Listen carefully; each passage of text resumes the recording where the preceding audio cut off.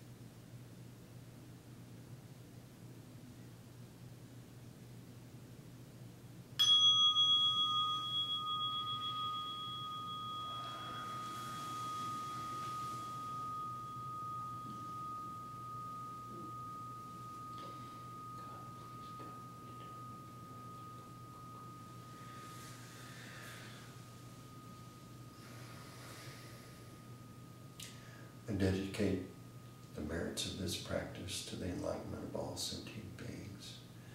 May God bless us and keep us and give us peace.